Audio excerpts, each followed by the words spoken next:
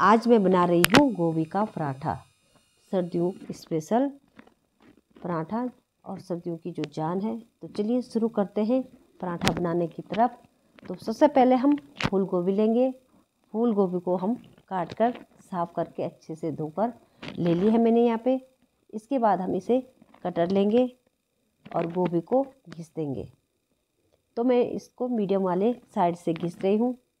तो इस प्रकार से गोभी अच्छे से बारी बारी घिस जाती है। तो इसी प्रकार से हम सारी गोभी को मैंने घिस दिया है। अब घिसी हुई गोभी में एक चम्मच नमक मिलाकर अच्छे से गोभी में मिला देंगे और दस मिनट के लिए इसको नमक मिलाकर छोड़ देते हैं। अब दस मिनट हो चुके हैं।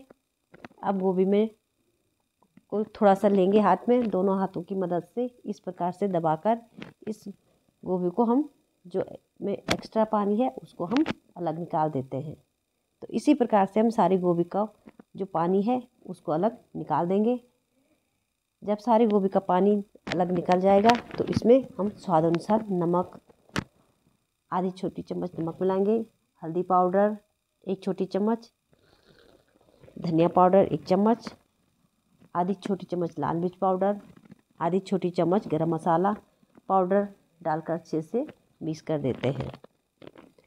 अब आटे को एक छोटी सी लोई लेंगे और इस प्रकार से हम लोई को गोल गोल बना देंगे और गोल लोई पर थोड़ा सा हम सूखा आटा लगा देंगे और हाथों की मदद से लोई से बाहर की साइड से बराबर हाथों से थोड़ा थोड़ा करके फैलाते जाएँगे। इस प्रकार से और फिर इसमें तैयार मसाले को हम भर देते हैं और मसाले को दबा दबा कर रोटी के अंदर भर देंगे और रोटी को दो, चारों तरफ़ से बंद करते जाएँगे ताकि जो मसाला है वो बाहर ना निकले। इस प्रकार से लोई तैयार कर देंगे।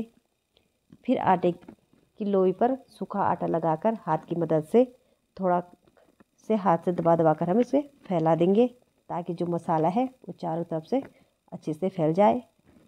फिर बेलन की मदद से हम लोई को बेल देंगे।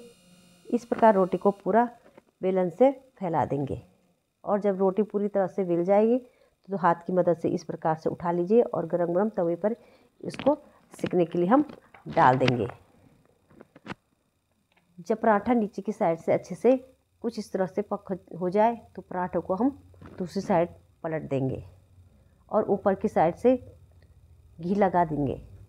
चारों तरफ़ से हम घी लगा देंगे जब ऊपर की साइड से घी अच्छे से लग जाएगा तो पराठे को हम दूसरी साइड से पलट देंगे। और दूसरी साइड भी पराठे पर घी लगा देंगे। अब पराठे को दोनों साइड से उलटते पलटते हुए दबा दबा कर अच्छे से हम इसको सेक लेते हैं। तो इस प्रकार से गोभी का पराठा बनकर तैयार हो जाता है। तो ये देखिए, गोभी का मज़ेदार पराठा बनकर तैयार हो गया है। इसी प्रकार से आप गोभी का पराठा बनाकर तैयार कर सकते हैं। तो चलिए सुपर टेस्टी सुप गोभी के पराठे को हम सर्व करते हैं।